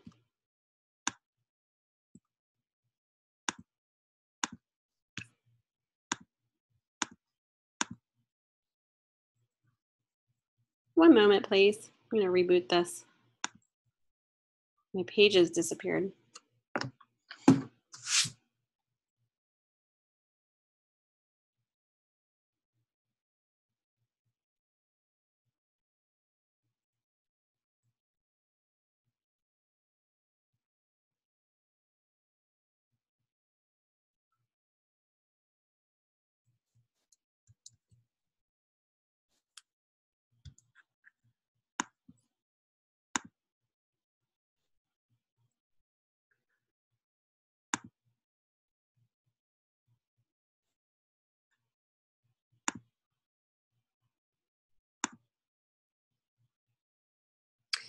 Something is weird with this. I'm not getting my pages back here for some reason. Alrighty, interesting. There's some weird things going on today with this. But anyway, you're supposed to go back to your pages and they're supposed to be shown in here so you can see them kind of being applied to all the pages. For some reason, I can only see my, oh, there we go my viewing options weren't there. Sorry about that, guys. We're gonna make this, if you don't want this uh, option to be applied, say to the cover, just go ahead and drag and drop the none over top of that thumbnail so that it's not applied to that. Sorry guys, I've, it's been a day, let me tell you. All right, let me go to preview and I'll show you kind of what that looks like. So it'll be applied to every page. If you wanted that photo to change on every page, you would have to create a separate style guide for that. And that's only because I have an element that's going over top. All right, so with that being said, if I chose this as my grid structure, table of contents, brand introduction, now I can set my type, you know, in there as well, and I keep it consistent. So I'm gonna take, take my type tool, and you can do your guides at this point. You can pull these out, you know, measure out some guides. I'm gonna kind of measure mine out so that I'm keeping this consistent where I'm um, pulling the, the type box out to these two guidelines. So I'm not utilizing the whole, I'm giving it nice white space in between here. And then uh, just for ease of showing you very quickly how this would look, I'm just gonna put filler type in here. You can do a style sheet for this again. And the body copy, I would stay in between 10 and 11 point size. You don't have to, it doesn't have to be large. And then maybe a 14 point leading. That's always a good combination right there. Put some paragraphs in here.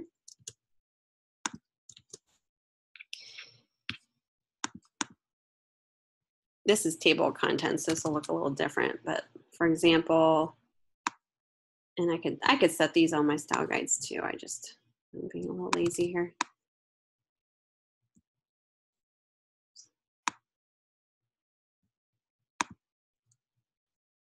This would be more so of the brand introduction. Our table of contents, you might utilize the tabs. So for instance, so you would put like, um, well, you wouldn't put the table of contents, but you would start with brand introduction. Target audience. So you would just skip the cover and the table of contents personality, color palette.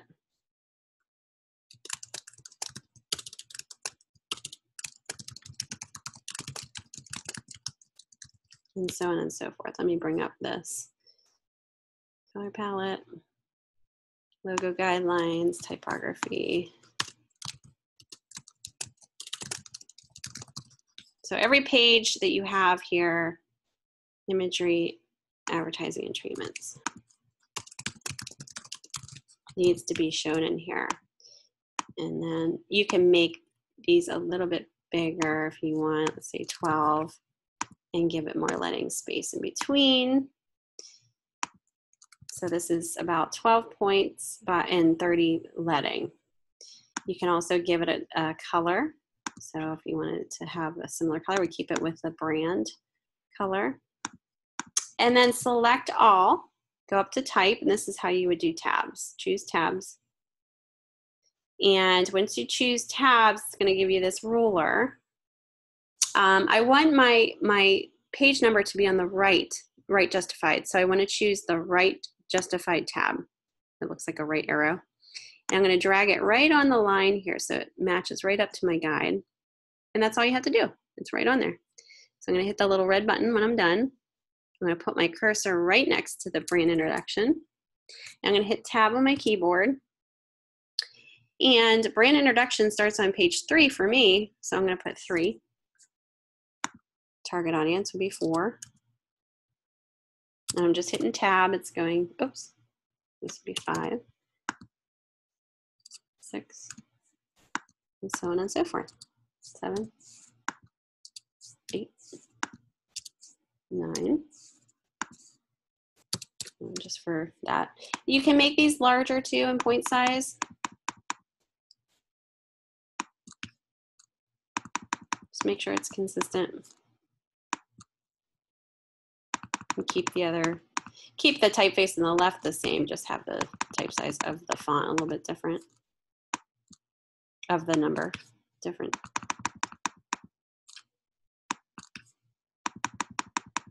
There's different ways you can do the, you know, this. You don't have to do it like how I'm doing it. Just giving you some tips and tricks and ideas. So that's kind of what that looks like here. Okay. You can even set this in a different color. You know, it's completely up to you and how you want to do that. You don't have to do the right justified. You could have the number underneath centered. It's completely up to you. Introduction. This is, you know, kind of the information that you can uh, set in here that was given to you in that PDF. You can copy and paste it and kind of make sure it reads well for that area. Same with the target audience. You know, it, it might be part of the paragraph that you're splitting up that was given to you, something that maybe you made up. It's a little different for you guys because this is a made up project.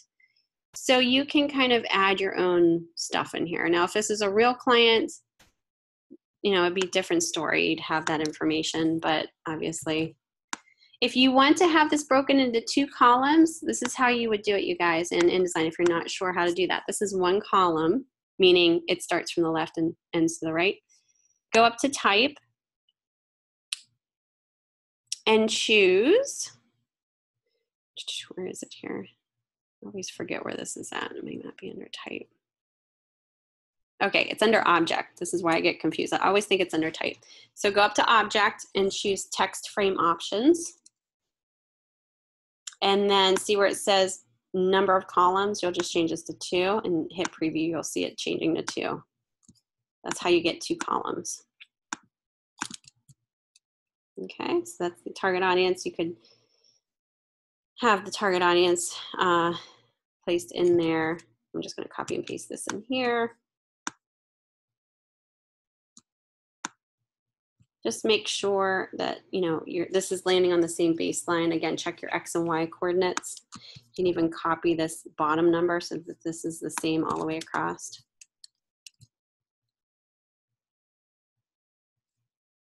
Okay, personality, what else? Color palette. So color palette, you can do, let's see.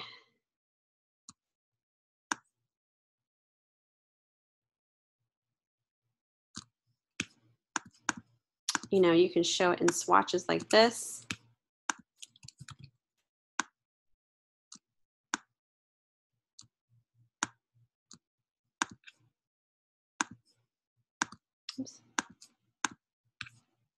Okay, and remember that screenshot that I showed you guys to do? Go access that again. I'm gonna save this here. Those screenshots that I showed you guys. Let me grab that real quick. Turn this over to the side. These are the two screenshots that I oh, told you to do. So at this point, you'll be able to know like what these colors are and, and be able to implement this. Sorry guys, I keep I keep just hitting the wrong button there. Make us a little skinnier so I can put these numbers in very easily here. Okay, so for this darker number, for instance, this is the darker option here, darker purple. I'm gonna go and um, just do a type box and type in the numbers uh, here. So I would do CMYK first. So you could either do it like this, where you're actually typing out the CMYK, or you could do vertical. Completely up to you and how you want to do it. So I'm gonna do 78 the thing with with um, CMYK and all these numbers, you don't have to put the percentages in. People know, you know, by the lineup of the numbers, what is what. You know, next to each other like that. So you don't necessarily have to do the percentage. 82, 163. And then you could just do a pound 5652A3.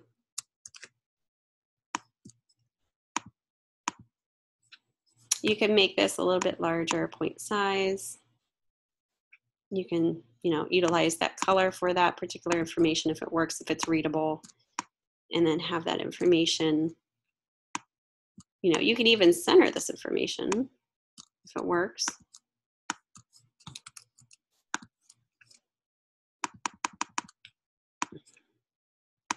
But just make sure it's with the swatch and you have a nice visual pause in between. If you don't, it could be confused. Um,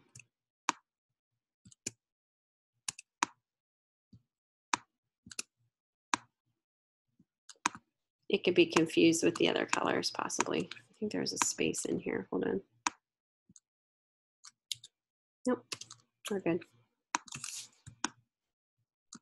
I don't think these are lined up right. There we go.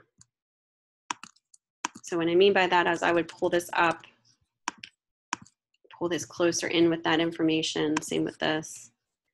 So you have more space in between these two.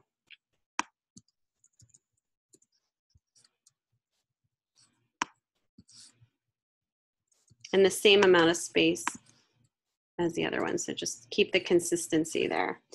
And then, okay, so this was the darker. So I want to do the lighter is, I need to change this information. So it'd be 41, oops, 41, 50, 0, and 0. RGB would be 155, 133, and 190. And then the number for the web color would be 9B85BE.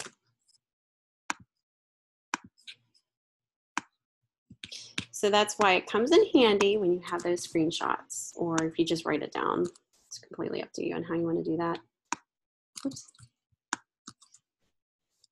Pull this up just a little bit. Okay, and balance everything out, make sure it looks good, reads really clearly. And then you just go forward with your, your logo guidelines, kind of the examples I showed you um, with the student examples. Let me see here.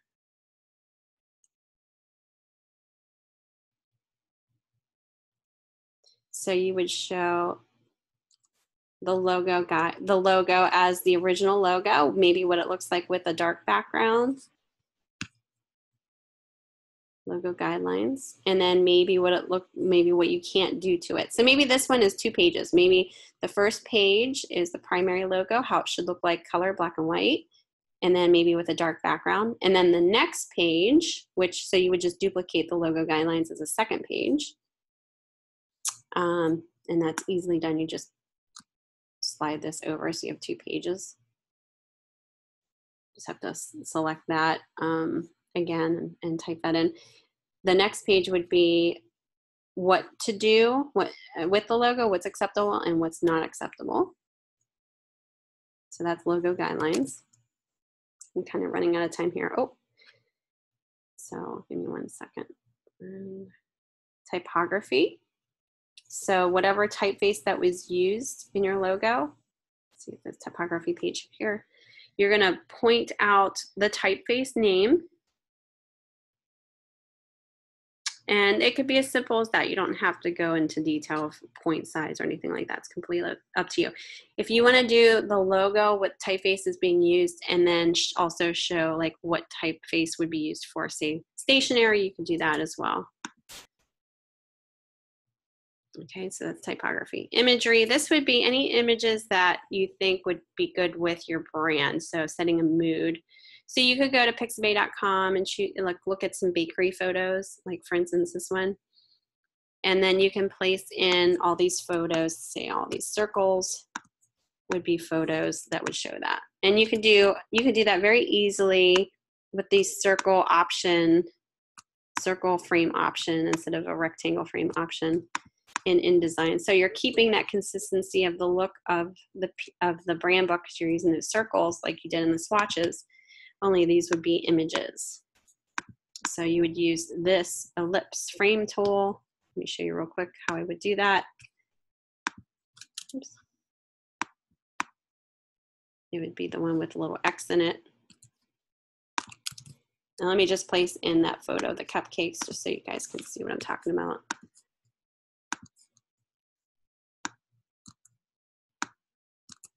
So instead of like these color ones representing the photo, you would actually have photos in here. So you would show photos of anything that you think would be what you would like to show the brand, maybe in a website, you would have photos that would represent that you're setting a mood um, basically for the overall look of the pieces that could be designed or are designed. Okay, where's my alignment here?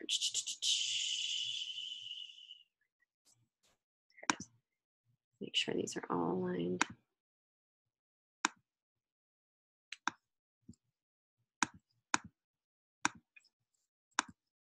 And then just pay attention to how you present this. Move this over a little bit.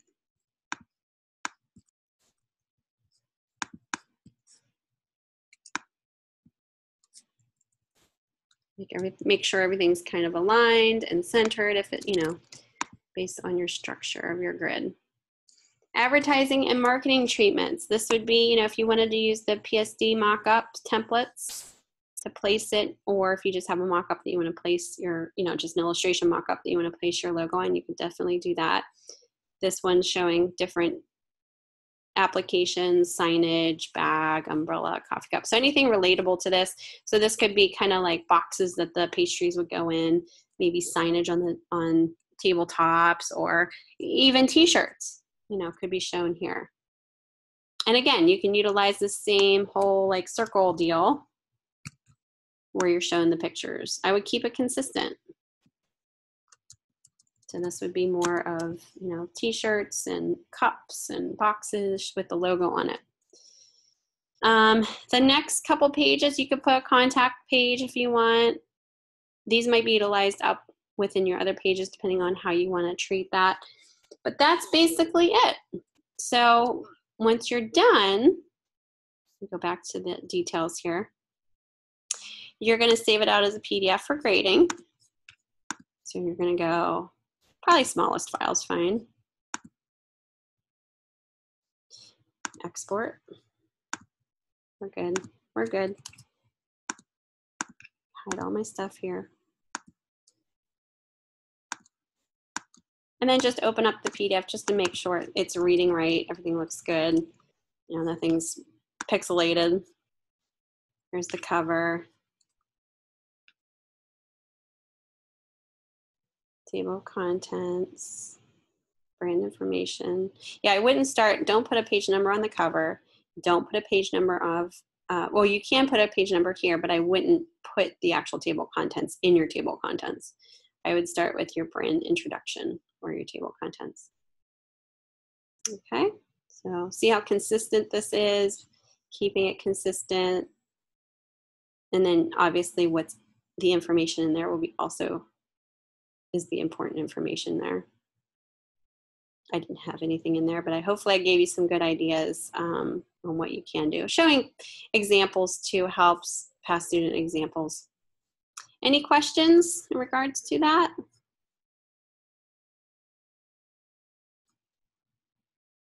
We're kind of running out of time here. I'm going to wrap it up since we're a little over time.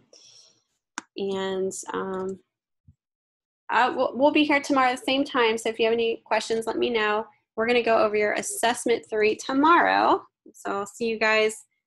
Um, I'll hopefully see you guys then.